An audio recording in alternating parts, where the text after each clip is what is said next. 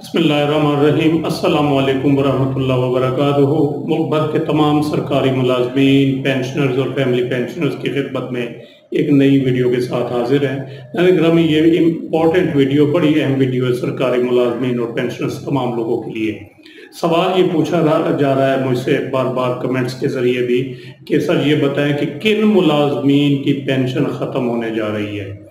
आया इन मुजवजा पेंशन असलाहत का इतलाक पुराने मुलाजमीन जो सरकारी हैं, जो 20-25 साल 30 साल सर्विस कर चुके हैं, अभी रिटायरमेंट उन्होंने नहीं ली तो क्या इन पेंशन असलाहत का इतलाक उन पर भी होगा?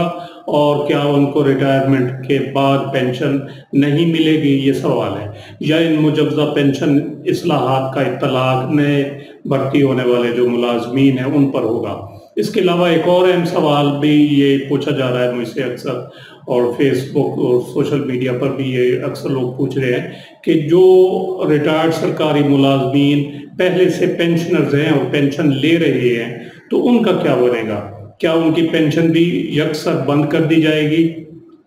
इस सवाल को लेकर के बहुत से सरकारी मुलाजमीन और पेंशनर्स परेशान है कि मुस्तबिल में उनके साथ क्या बनेगा, पेंशन मिलेगी भी या नहीं मिलेगी। साथ ज़ाहिर है, पेंशन पर ये नासार है अक्सर, जो पेंशनर्स हैं और जो रिटायर होने वाले हैं मुलाजमीन, वो भी तकिया किए होते हैं पेंशन पर के पेंशन पर, गुजारा होता रहेगा।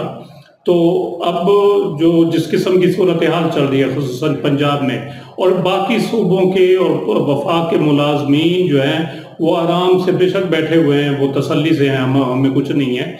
लेकिन वो राहत इंदौरी साहब हैं, इंडिया के शायर। उन्होंने कहा कि लगेगी आग तो आएँगे घर कई जद में। लगेगी आग तो आएँगे घर कई जद में। यहाँ पर सिर्फ़ हमारा मकान थोड़ी है।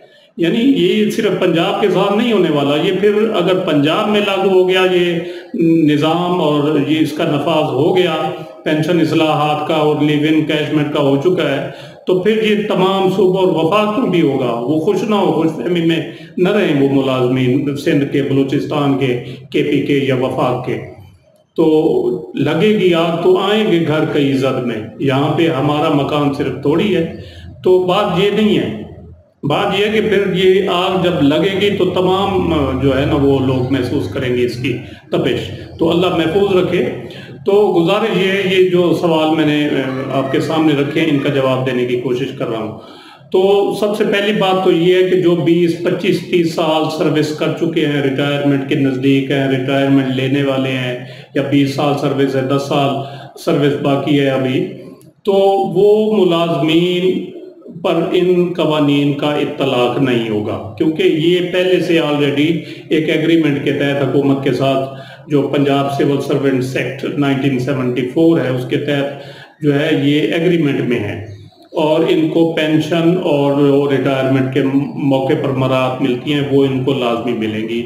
ये मतलब तसल्ली रखें, इनके साथ ये नहीं होगा कि ये जब रिटायर हों तो बिल्कुल इनकी पेंशन जो है वो यकसर ख़त्म कर दी जाएगी। क्योंकि कहा यह जा रहा है कि जो स्कूल अब प्राइवेटाइज होने जा रहे हैं, निजकारी जिनकी की जा रही है तो वहाँ पर जो मुलाजिम हैं टीचर्स हैं या दीगर मुलाजिम हैं तो वो उनके अंडर आ जाएँगे। तो ऐसी बात नहीं है।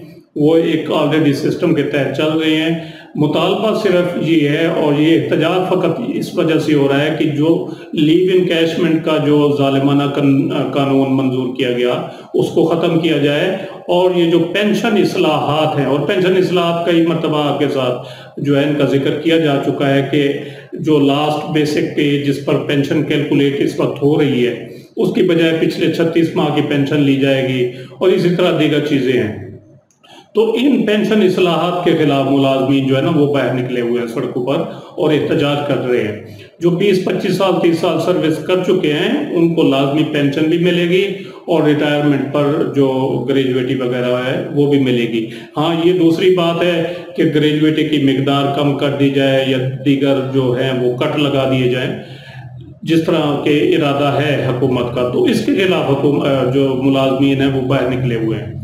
एक सवाल तो ये क्लियर हो गया। क्योंकि आपने के में भी देखा होगा वहाँ पर सीपीसी जो कंट्रीब्यूटरी पेंशन सिस्टम जो है वो नाफिज हो चुका है और इसका इतलाक जुलाई 2000 22 के बाद भर्ती होने वाले जो मुलाजमीन हैं उन पर हो रहा है। या गलबन 2021 है।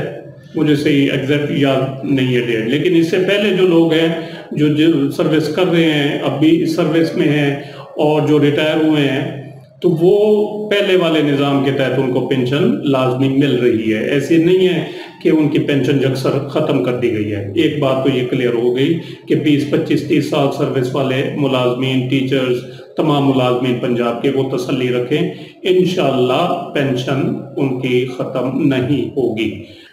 अच्छा दूसरी बात यह है कि जो ऑलरेडी पेंशन ले रहे हैं तो वो उनका क्या बनेगा? तो वो इनशाला पेंशन लेते रहेंगे। ऐसा नहीं होगा कि उनकी पेंशन जक्सर बंद कर दी जाए। इसका इतलाक अगर कोई नया सिस्टम लाया भी गया पेंशन का तो उसका इतलाक नए भर्ती होने वाले मुलाजमीन पर होगा।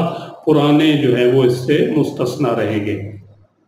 तो ये चंद चीज़ें थी क्लियर करने वाली। वो आपके साथ मैंने जो है वो सामने रखी।